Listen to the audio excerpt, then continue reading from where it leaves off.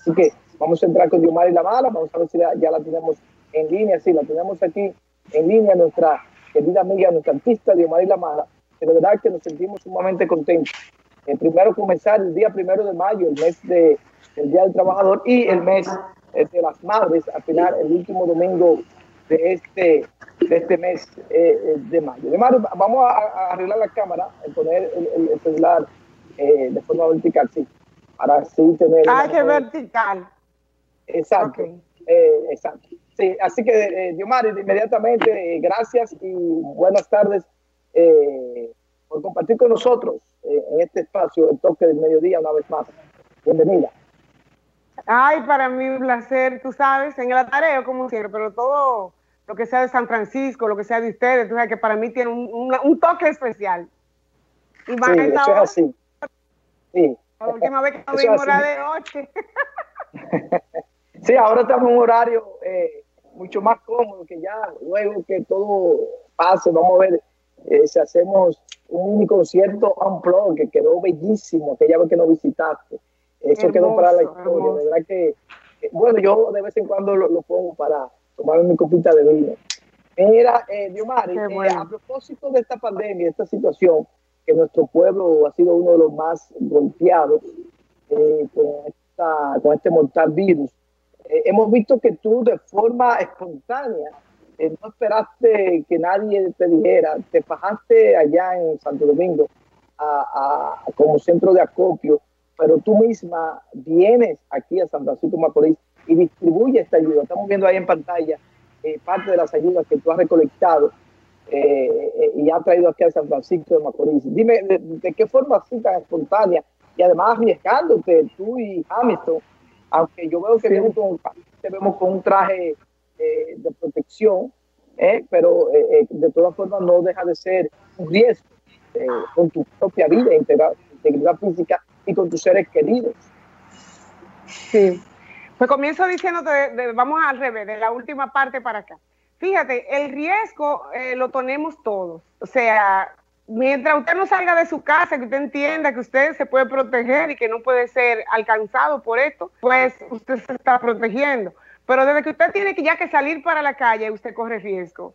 Qué bueno que ese riesgo que nos tomamos pueda, con, pueda convertirse en algo positivo. Entonces, si ya no estamos arriesgando, vamos a hacerlo positivo. Entonces, ¿por qué no tratar de, usar la influencia que podamos tener desde nuestra plataforma para motivar a la gente a que sea solidario? Fíjate que la mayoría de personas que a nosotros nos respaldan no son de San Francisco necesariamente. Aquí en la ciudad capital hemos contado con muchísima gente que sigue nuestro trabajo y que esto se ha, venido a ser, como quien dice, la prueba. Este tiempo de pandemia, eh, para mí como artista y como ser humano, lo que ha venido a ser es un tiempo de prueba de cómo es que la gente percibe lo que nosotros hemos hecho en cinco años que tenemos aquí. Entonces, fíjate, las empresas se han, hecho eco del llamado que nosotros le hicimos. Entonces, ellos son los que han querido ser parte. O sea, la gente, la gente de las empresas grandes de este país me dicen, Diomari, gracias por dejarme ser parte de tu proyecto, de ayudar a tu pueblo. El que no sabe de dónde viene, no sabe hacia dónde va. Y el amor de, tanto de Hamilton como mío, por nuestra familia, por San Francisco de Macorís, es un amor de gratitud. Hay diferentes tipos de amores, pero el amor de gratitud es un amor, señores, que eso es, perdura toda la vida, porque siempre vamos a estar agradecidos de que Dios no fue allá que nosotros nacimos, no fue en Agua, ni fue en, La Vega, ni en Santiago, fue en San Francisco. Entonces, por encima de la, de la patria, por encima del país, nosotros somos de esta tierra, que es una tierra de guerreros, una tierra de gente que innovadora, de gente emprendedora, de gente que se ha caído y que ha levantado, de gente que dice, vamos a luchar porque esto, no es fácil, pero nosotros podemos. O sea, nosotros tenemos un orgullo tan y tan grande que lo hemos llevado a otras fronteras, lo hemos sacado incluso del país y ese mismo orgullo lo llevamos en donde quiera que hay un franco macorizano. Entonces nosotros somos ejemplo de eso porque Hamilton también 15 años fuera y yo 30. Imagínate tú cómo no vamos a quedarnos, no podemos quedar con los brazos cruzados. Y lo que estamos haciendo no es buscando ningún tipo de reconocimiento ni nada, simple y llanamente queremos inspirar a otros a que tengan la iniciativa. Eso es básicamente todo. Nosotros no andamos atrás de nada porque gracias a Dios no necesitamos reconocimiento, pero sí poder motivar con el ejemplo, con el ejemplo, no con palabras, con el ejemplo, motivar entonces a los demás, a los que nos siguen, no solamente franco-macorizanos. En estos eh, hay, un grupo grandísimo de voluntarios y yo quiero que tú sepas que los únicos de Macorís somos nosotros dos. Eso es increíble. Eso es impresionante. Yo me quedo con la boca abierta y digo, yo, Señor, gracias. Muchas gracias, Señor, porque a todas estas le echamos eh, toda eh, la, gloria, ¿no?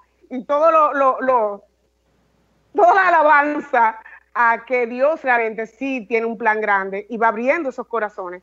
Porque de qué me vale a mí pararme aquí a hablar con ustedes, señores, si nosotros no podemos tocar a la gente que nos está viendo, a la gente que está llegándole este mensaje, no vale la pena, ¿verdad?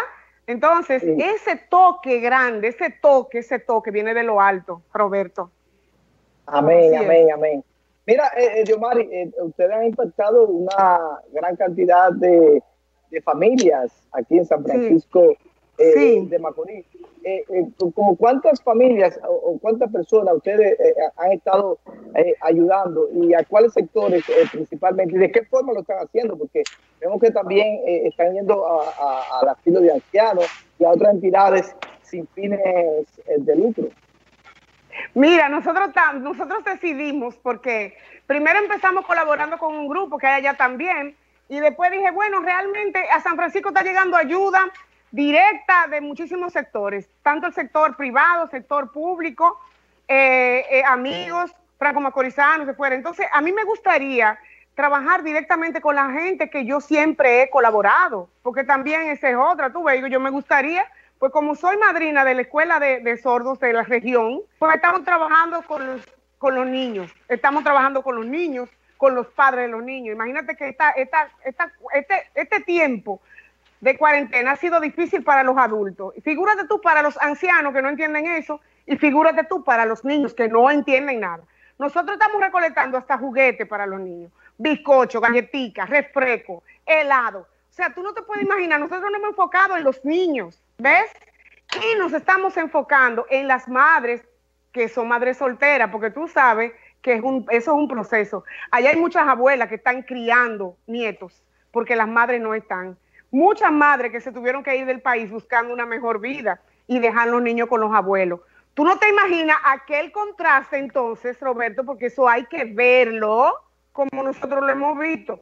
Este contraste de una señora mayor de algunos 80 años que no tiene una idea, entonces unos niños de 5, 6, 7, 8, 9, 10 años, que tú dices, pero ¿y entonces qué es esto? Entonces ese tipo de cosas es la que más me preocupa, porque yo decía de un principio, el hambre, el hambre, por ahí viene el hambre, por ahí viene el hambre, por ahí viene el hambre.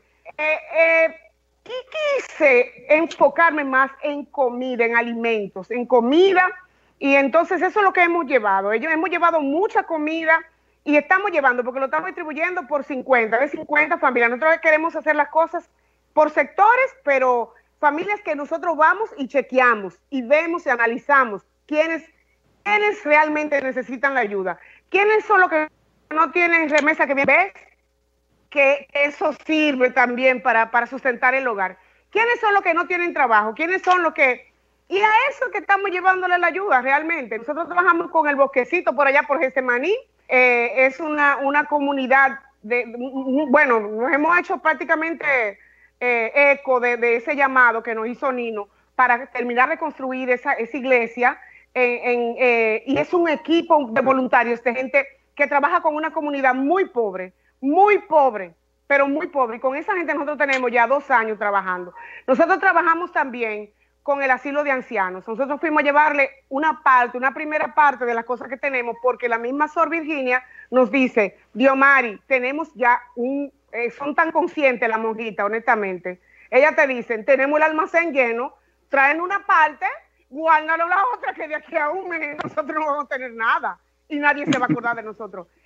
Óyeme qué honestidad tan grande. Estamos trabajando con, la gente de, la Casa del Pobre. Sabes que con la Casa del Pobre ya hemos hecho tres actividades aquí en la, en la Casa de la Anunciación. O sea, nosotros recolectamos en el año completo y hacemos dos y tres actividades para recaudar fondos para esas instituciones sin fines de lucro. Nosotros hemos querido hacer esto más bien dirigida específicamente a la gente que puede eh, distribuir apropiadamente lo que con mucho sacrificio y con esta cara de frente me responsabiliza a mí como figura eh, pública de este país. Eso es un tema.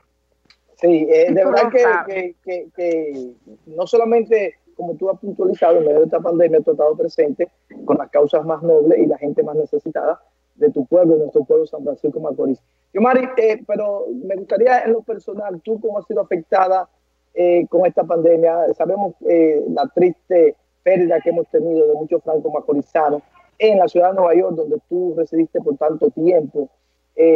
¿Cómo ha sido golpeado en la parte personal directa de y La Mala esta pandemia?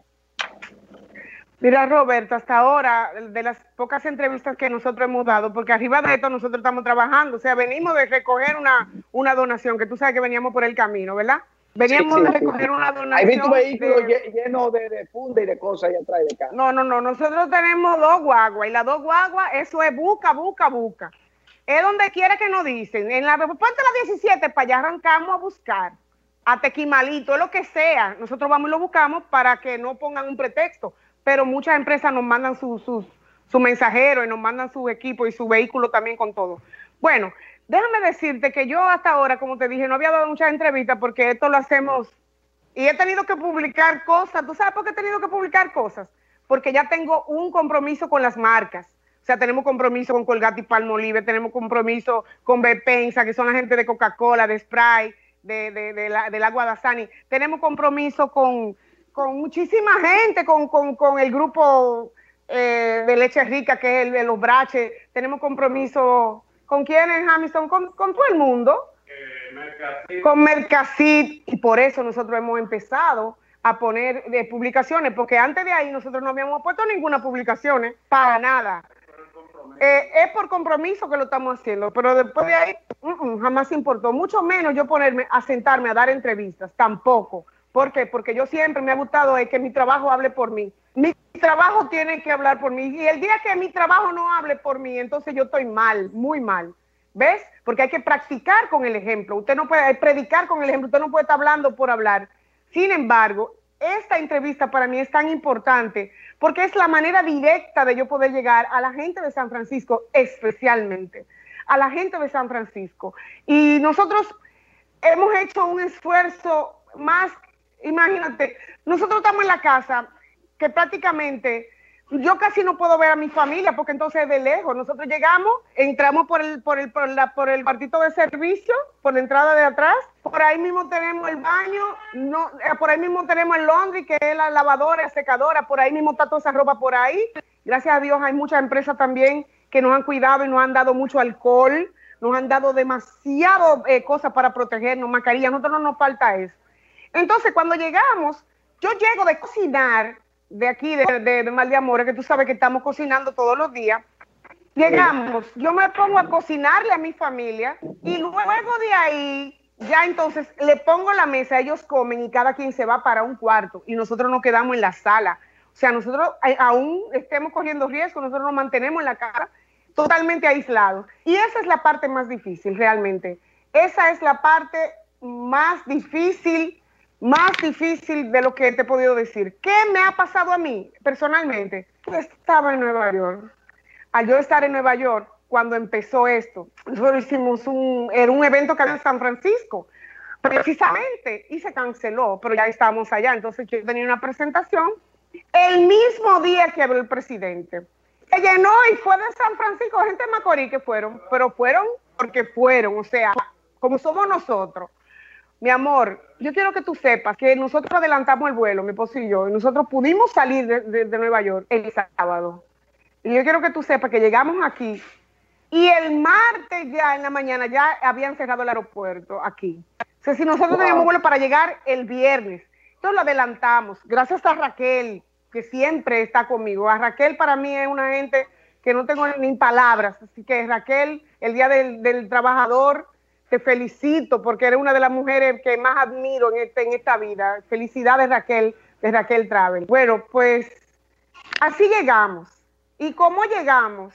Pues inmediatamente a trabajar, a trabajar. Entonces, ¿qué pasa? Que me fui enterando de los compañeros que estuvimos juntos allá y que ellos como siguieron en su vida normal allá, pues están contagiados. Eso me ha dado a mí la gente que se ha muerto, gente que yo conocía, la gente que hemos perdido allá, gente del medio, porque acuérdate que para crear conciencia de quédate en tu casa en una ciudad como Nueva York es muy difícil, porque es la ciudad que no duerme, es la ciudad que trabaja de noche y de día, que tiene actividades. Entonces, nuestros compañeros, que muchos de ellos, pues, eh, se manejaban en, centros de entretenimiento, acuerda.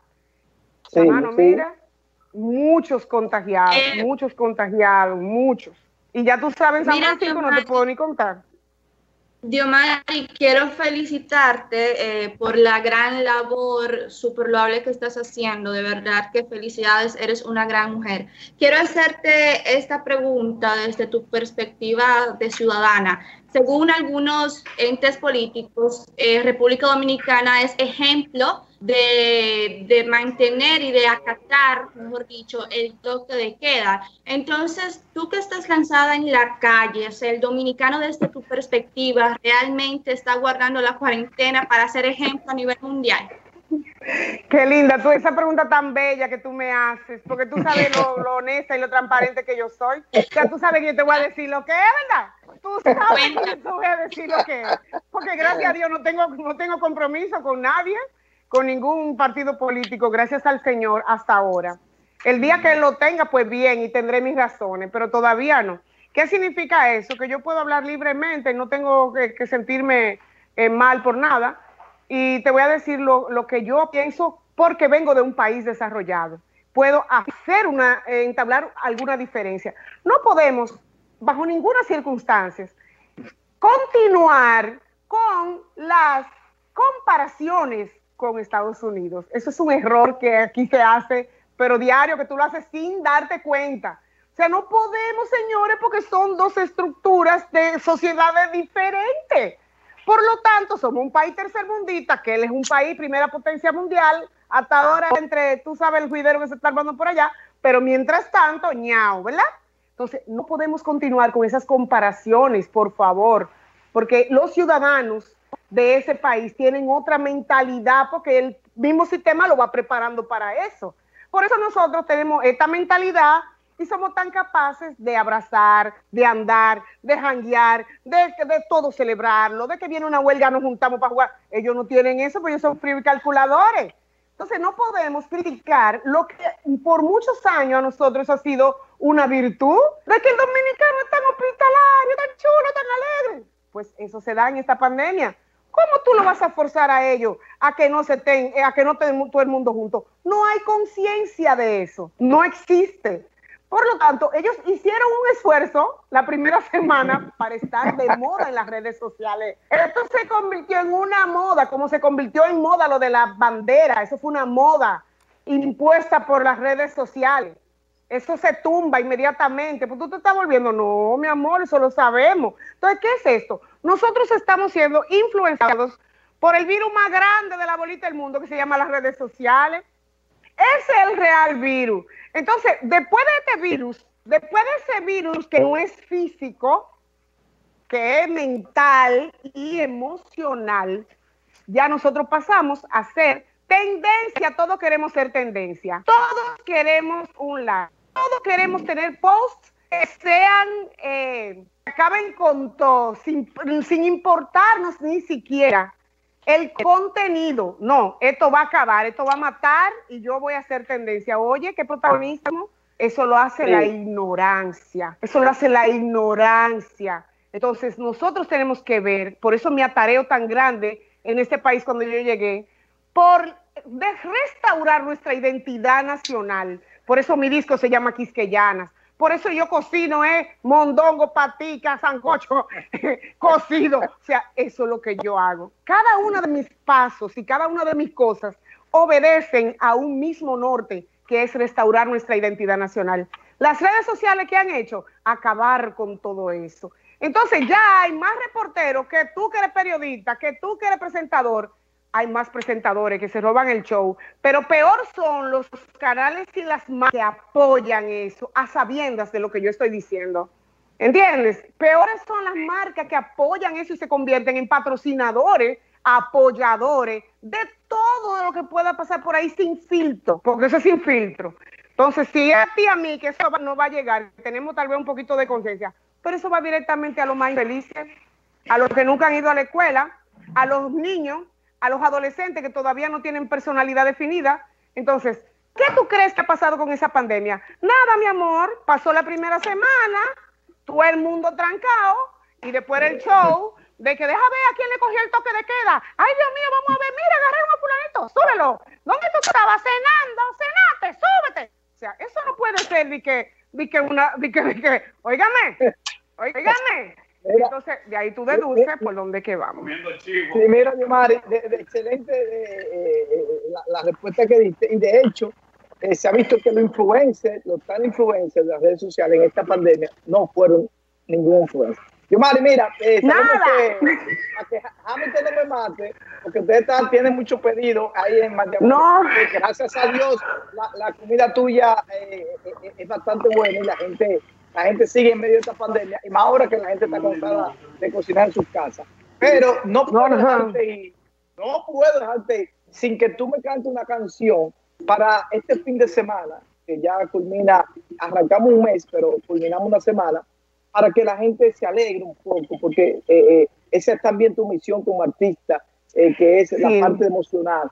Y quiero una canción sí. de esas canciones bonitas que tú tienes para despedir esta entrevista tan maravillosa y tan orgánica como tú siempre eres. Y nada, sí, sí, muchísimas gracias. Antes de cantarte un pedacito de alguna canción, fíjate, hemos combinado lo que es el entretenimiento con, con las buenas obras. Eh, ¿Por qué? Porque somos artistas y por encima de todo eso tenemos un compromiso eh, social. Sin embargo, eh, somos más que todo lo demás, a lo anterior mencionado, somos personas optimistas somos personas positivas. Entonces, al ser positiva, yo de todas las adversidades la he convertido en, en, en, oportunidades. Por eso mi nombre de mala lo hicimos mujer auténtica, luchadora, activista. Porque todo lo que es negativo yo lo torno en positivo, porque es un propósito que tengo de vida. Entonces, eh, me ha tocado ir a cantarle en todos lados y en todas partes, mi amor. Yo he cantado con todo el mundo, donde quiera que voy llego cantando. Eh, cuando voy al mercado a comprar todas mis cosas, voy cantando.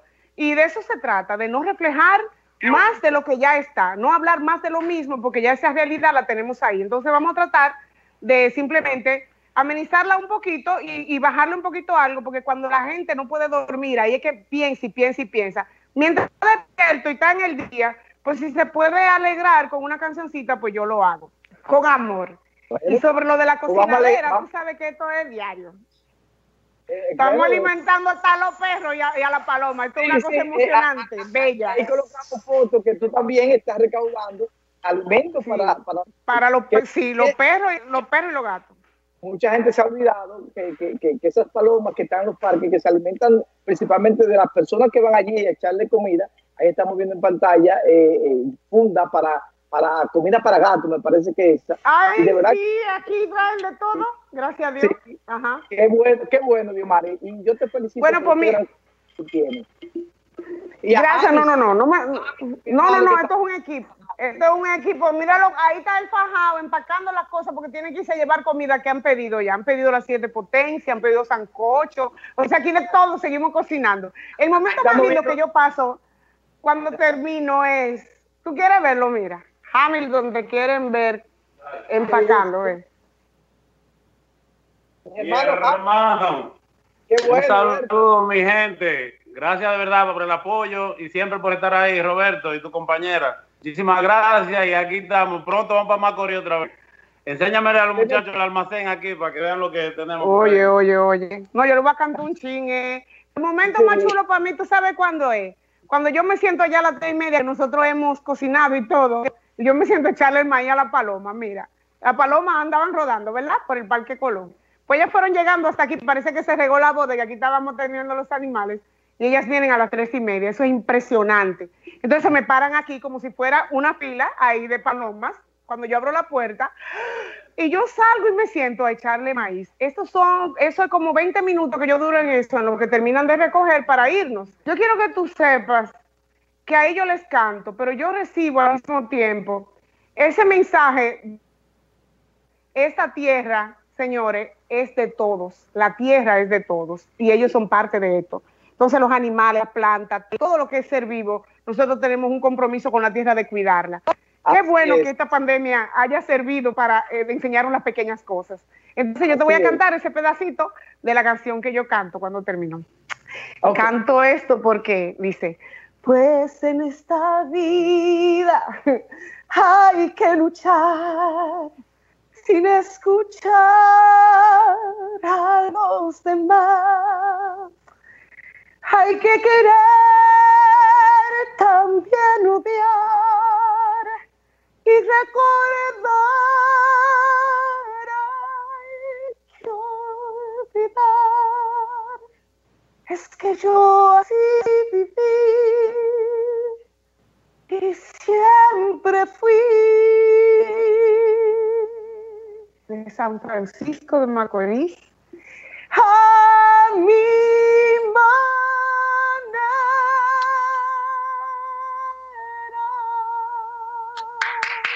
Un abrazo para mi familia, un beso grande. Luigi, te amo, mi Linche. Cuídense, nos vemos la semana que viene. Dios lo bendiga. Beso con esa canción sin desperdicio que llega al alma. Vamos a la última pausa, señor director, para ya retornar con la parte final de este su espacio, el toque de mediodía.